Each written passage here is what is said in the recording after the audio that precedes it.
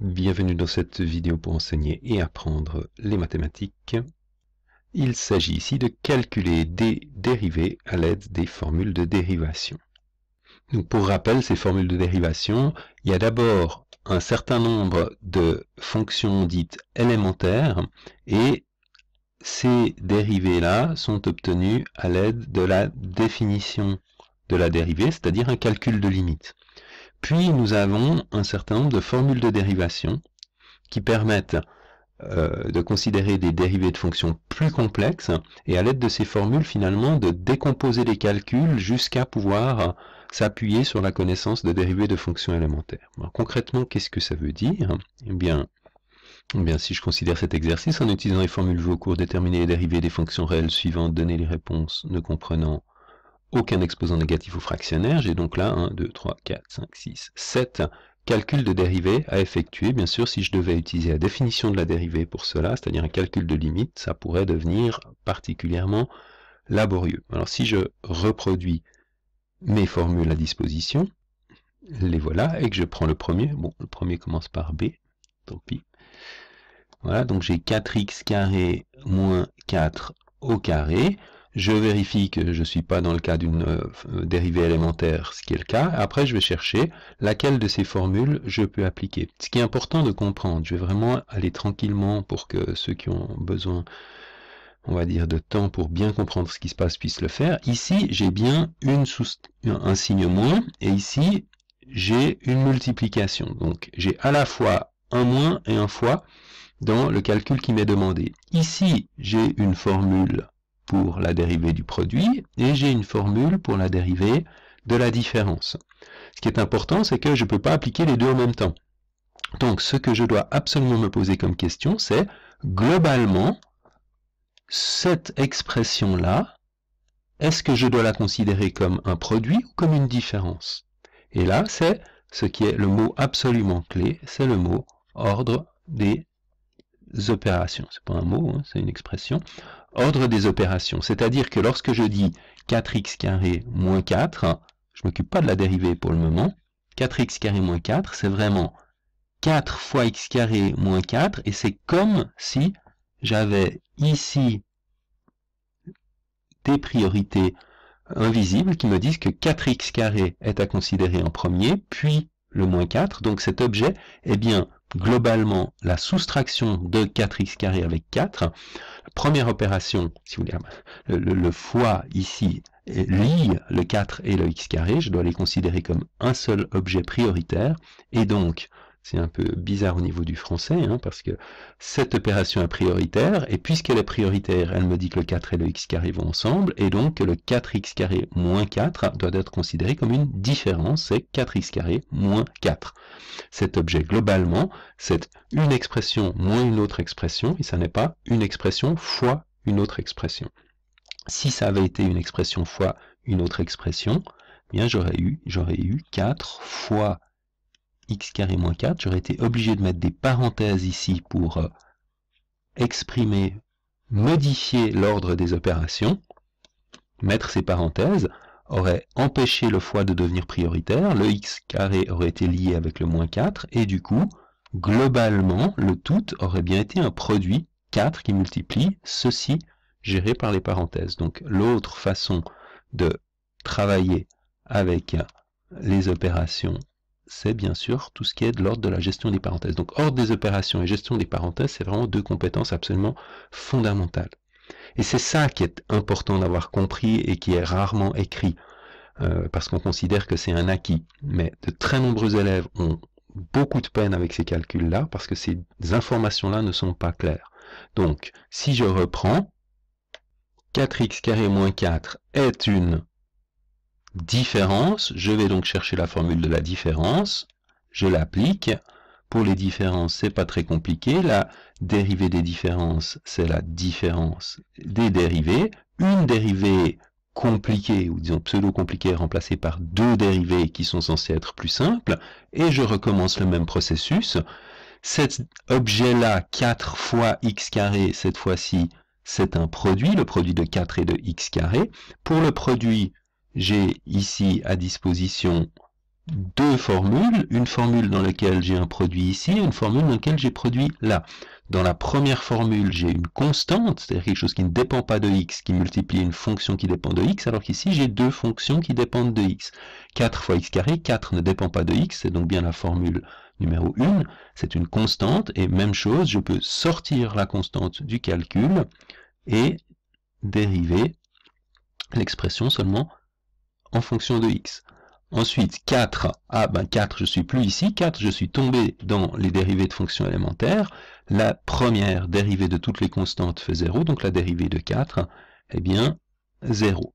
Et puis maintenant, il me reste encore une dernière étape, la dérivée de x carré. La dérivée de x carré, je la trouve ici, c'est la quatrième, c'est 2x. On l'a calculé par ailleurs. Donc 4 fois 2x fait 8x terminé. Il est évident qu'avec un petit peu d'habitude, l'objectif est de passer carrément directement de là à là.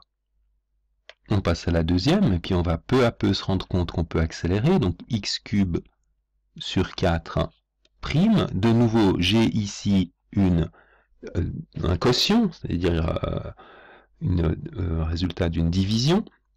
Donc ici j'ai des formules de division, j'ai 1 sur f, j'ai f sur g, j'ai constante sur f je n'ai pas euh, fonction de x f sur constante, comme très souvent dans la dérivation, avant de dériver, on peut se rendre compte que de réécrire la fonction d'une autre façon va nous simplifier le calcul. Donc x cube sur 4, c'est la même chose que 1 quart fois x cube. Et qu'est-ce que ça me dit? Ça me dit qu'en fait, toutes les divisions par une constante, puisque diviser par un nombre, c'est la même chose que multiplier par son inverse, mais toutes les divisions par des constantes peuvent être traitées exactement de la même façon que les multiplications par une constante. Donc 1 quart fois x cube, j'applique la première, et ça fait 1 quart fois la dérivée de x cube. Et puis x cube est l'une des fonctions élémentaires ici, donc ça me fait 1 quart fois dérivée d'x cube, 3x carré, donc finalement 3 quarts d'x carré. Vous voyez qu'assez vite, ça s'accélère, et ici, essayez de vous rappeler, pensez à réécrire avant de dériver. Des fois, ça facilite beaucoup la vie. Ce ne serait pas faux d'utiliser la formule du f sur g, mais ce serait beaucoup plus long avec un risque d'erreur algébrique qui se multiplie en cours de route.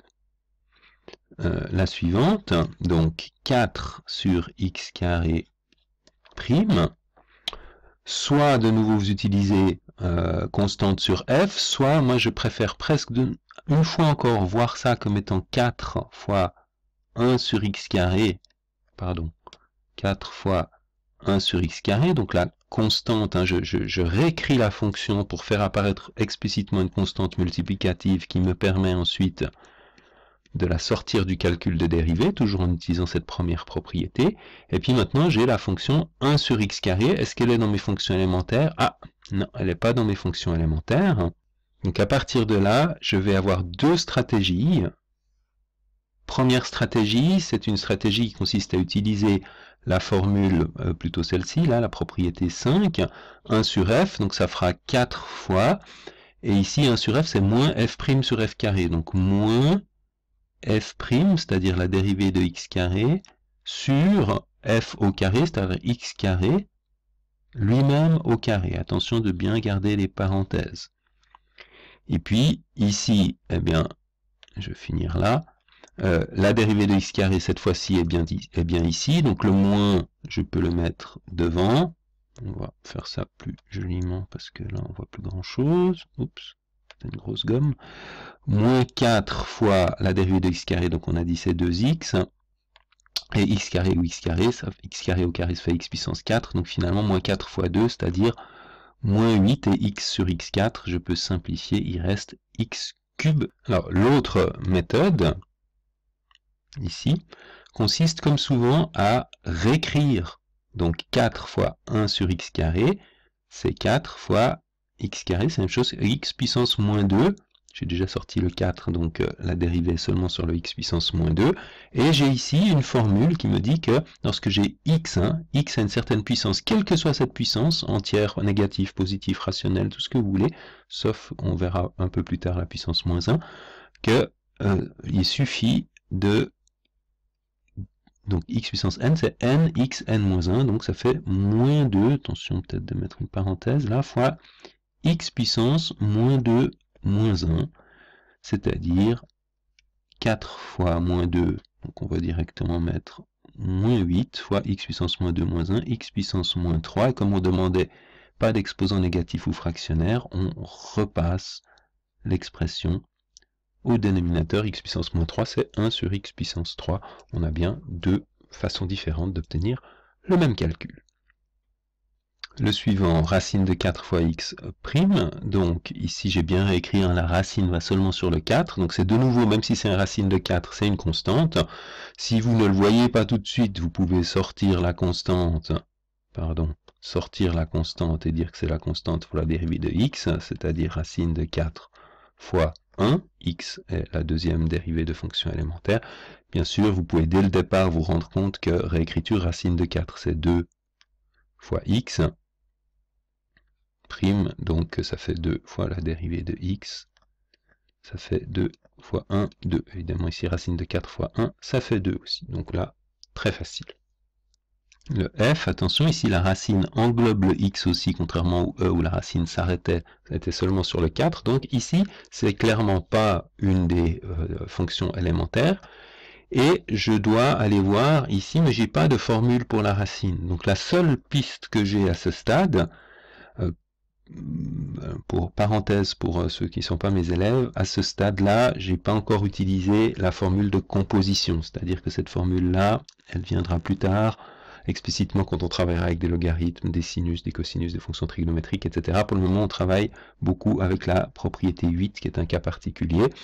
Donc, du coup, eh bien, ici, la, façon, on va dire, de faire pour le moment consiste à réécrire les racines carrées comme des exposants fractionnaires, et ensuite à utiliser cette euh, propriété numéro 8 fonction puissance n, eh bien ça fait la, ce qui est vraiment important, c'est d'identifier la fonction qui est enfermée dans la puissance et la puissance qui est ici. Donc la puissance, c'est le petit n qui est là, et la fonction, c'est celle qui est là.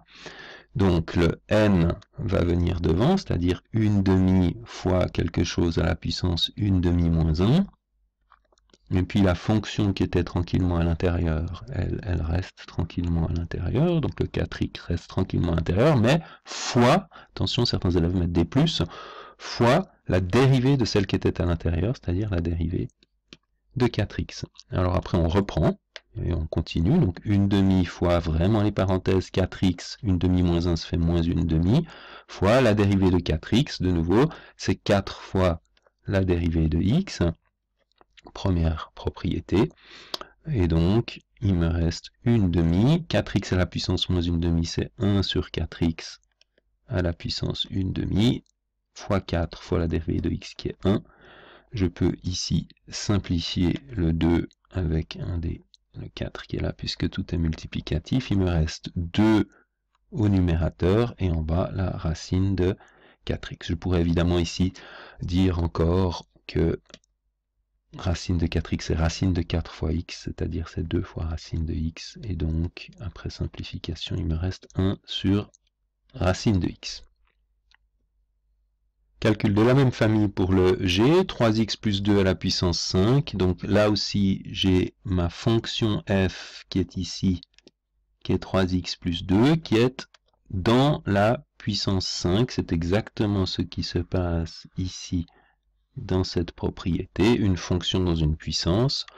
Donc ça me fait 5 fois la fonction ne bouge pas et 5 moins 1, 4 directement, fois la fonction qui est à l'intérieur qui doit être dérivée. Donc 5 fois la fonction 3x plus 2 à la puissance 4 fois 3x plus 2. Alors là, 3x euh, plus 2, bon, bah, si on veut le faire tranquillement, c'est une somme, donc c'est la dérivée de 3x plus la dérivée de 2, et puis la dérivée de 3x c'est 3 fois la dérivée de x, et la dérivée de 2 c'est 0, et donc ça fait 3 fois 1 plus 0, et donc ça fait 3. Donc finalement, on obtient 3 fois 5, c'est-à-dire 15, fois 3x plus 2 à la puissance 4, et bien sûr, si on veut que les choses soient correctes, complète de la façon suivante. Voilà. Donc ça c'est vraiment une application directe de la formule numéro 8. Et enfin, la dernière, x sur x moins 1, donc là, pas de réécriture simple possible, il s'agit bien d'un quotient, avec une expression qui varie au numérateur, une expression qui varie au dénominateur, donc la seule formule utilisable est celle-ci. f sur g', c'est f'g moins fg' sur g carré. Donc ici, la fonction qui joue le rôle de f, c'est celle-ci. Et la fonction qui joue le rôle de g, c'est celle-là. Ça va donc me faire f', c'est-à-dire x' et g ne bougent pas, attention de bien mettre les parenthèses, moins, attention ici il y a un signe moins qui souvent est transformé en plus, et en bas il y a un carré, donc bien lire les formules, x' fois x plus 1, plus moins x qui ne bouge pas, et cette fois-ci c'est x plus 1 qui est dérivé, et le tout est sur la fonction g, c'est-à-dire x plus 1 au carré. La dérivée de x, c'est la deuxième dérivée élémentaire, donc 1 fois x plus 1, moins x fois x plus 1 prime, c'est une somme, donc c'est la dérivée de x plus la dérivée de 1, la dérivée de x c'est 1, la dérivée de 1 c'est 0, donc on peut commencer à accélérer un peu, 1 hein. si vous préférez, plus 0, le tout divisé par x plus 1 au carré. Il me reste donc au numérateur x plus 1 moins 1 plus 0, 1, donc moins x sur x plus 1 au carré. x moins x se simplifie et il me reste 1 sur x plus 1 au carré. Voilà donc pour ces quelques calculs élémentaires, vraiment de départ, de euh, dériver à l'aide des formules de dérivation.